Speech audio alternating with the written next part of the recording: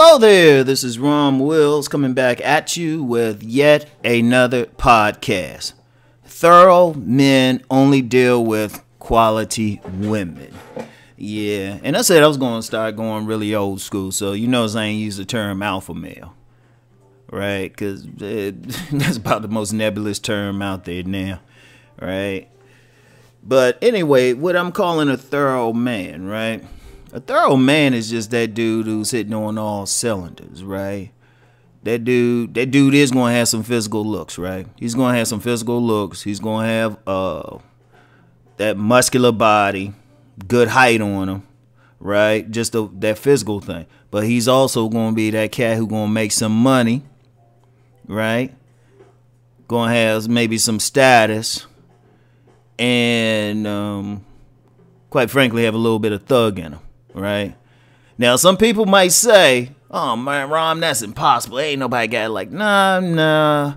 They exist. They exist. Now, as with somebody like that, you're not going to run into them every day. And then, even then, if you think about it, if that's somebody with some money and some status, first of all, you got to be in certain economic places to even meet that person, right? You know, but these these are the cats. These these these are the cats got it like that. I've known them. I've known them. Known uh ain't gonna say I've known about how many in life. I say 15 to 20. 15 to 20 dudes who just got it like that, right? Now, the popular wisdom is that type of cat. If he got it going like that, he'll have a harem and all he's doing is just fucking all day. you know, seriously, like usually this is guys on the outside who one imagine that would be the case because they know that's what they would do if they were in that position, and two, quite frankly, on the outside of it because well, they ain't around those cats, right? But this is one thing I noticed about the cats I knew who were on that level, right? And this is the one thing I've noticed. They don't deal with a whole lot of women. They don't. Now somebody would say, why wouldn't they do that or something? Because what these cats do, they just get the top women. That's it. That's it. Now, if you want to be on, because look, let's be honest. You got cats out here talking about all they doing is messing with dimes and all of that, and they got had two or three hundred women, and they say that shit. It is like, of course, they only say that shit like in a comment or something like that. But trust me, if I'm in your presence for an hour, I'm gonna tell you if you lying or not. I'm gonna tell you because if a dude look, and I'm I said this before and something. This how you know a dude is really getting that many women, right? Put them in any, just put them any place where there's some women at, and watch how the women respond to them. That's how you know. You can go to a grocery store, put that dude, have him walk around a grocery store, see how many women checking him out or something. Because if you're dealing with that many women, right? You're dealing with that many women, a significant portion of them have to throw it at you. Because if you're chasing the women, that's taking up all your time that that is taking up all your time right? Because you know you ain't gonna just run into some woman and she just sleep with you on the spot. You gonna have to put in some work. I don't care who you are. You gonna to talk to her something. Now you might be able to get some of them real quick but most of them even if they want to get with you because they don't want to look like a hoe they gonna make you do a little bit right? They already decided they gonna fuck you but they still gonna make you do a little bit Right? Some of them, I don't care who you are. Like I said, sometimes you can do it like that. But that's how you know. But see, that takes up time. See, here's the thing though. Here's the thing. In order to deal with that many women, you can't unless your business is dealing with that many women, like you're a gigolo or you're a dancer or something like that. You still gotta spend time on your job and your vocation. And if you're talking a lot of money, you ain't working a nine to five. You working, you working a whole lot more you putting in a lot of hours in. Unless you just in some profession where you can just make money like that, and those are rare. So you think about it, right? You in a business, you you ain't putting in 40 a week, you putting in 60 a week. If you got business or you uh, vocation, anything, you putting in at least 60 a week, right? You put in a lot of hours. So you don't have time for all of that. You you don't have time for all of that. Also, too, contrary to popular belief, there ain't that many dimes. Now I know some people might think, oh, these women are beautiful. Nah, most of those women, even if you go to a club, you go to the hottest club in whatever city you in, you see all these beautiful women.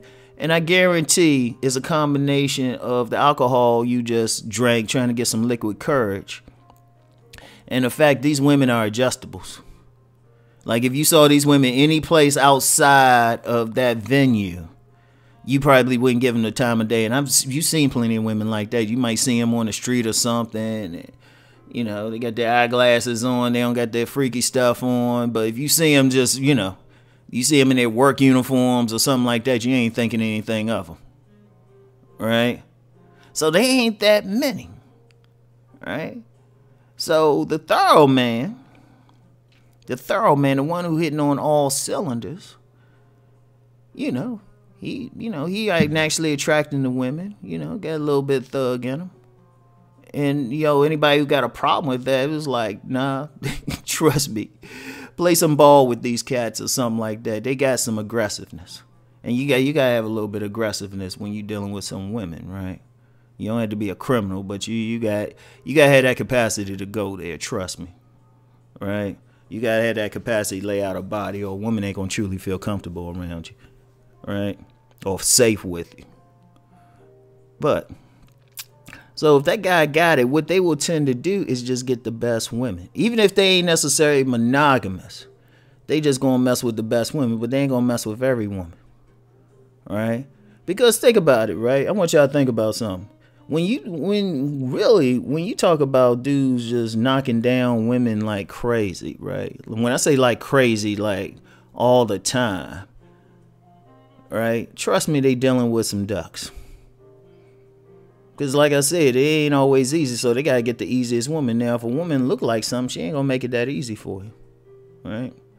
But that's the perspective. But the thorough man, because he's got his, see, he ain't totally focused on women. See, that's one big thing.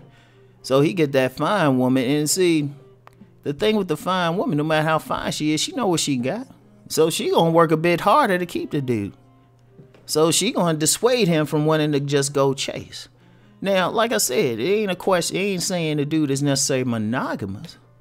Cause I, have known like one of those dudes I say is just in that category. That dude wasn't necessarily monogamous, but he just kept he just kept him fine. He ain't mess with anything below like a nine.